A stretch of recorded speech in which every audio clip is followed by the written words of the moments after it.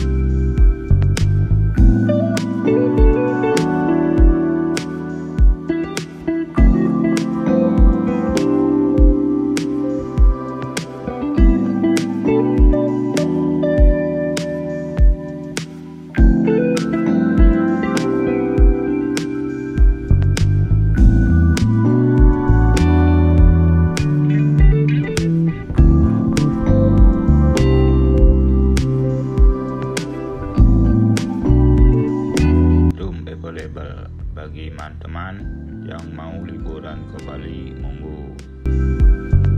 Jangan lupa bagi yang belum subscribe tekan tombol subscribe-nya. Terima kasih. Rahayu.